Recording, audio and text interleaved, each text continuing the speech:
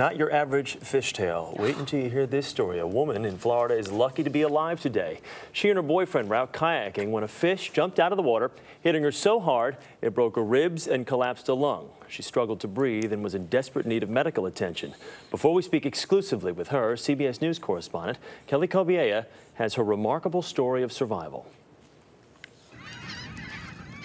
For most kayakers, an afternoon in the mangroves of the Florida Keys is the perfect end to a day. But last October, Karri Larson and her boyfriend Michael's excursion took a terrifying and almost deadly turn.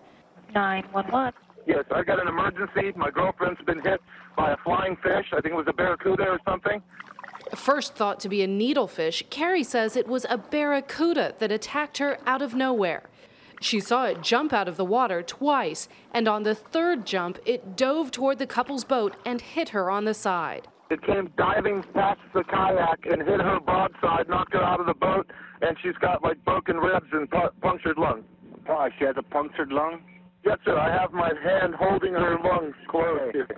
Okay, sir, I need to know where you're going to come into. I'm holding her ribs with one hand and cannot paddle this kayak anywhere right now. I need you guys to come to me. Getting to them would be no easy task in these Florida backwaters. Towboat owner Kevin Freestone volunteered to help search, speaking to Michael on the phone. He knew exactly what to tell me. He said, y'all need to get here as quick as you can.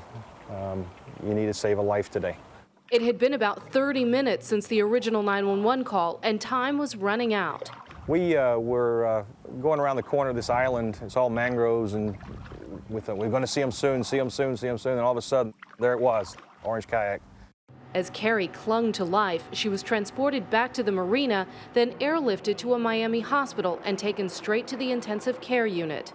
Karri survived her harrowing encounter, but she remained in the ICU for nine days, recovering from a shattered rib and a punctured lung. Kelly Cobiella, CBS News, Miami.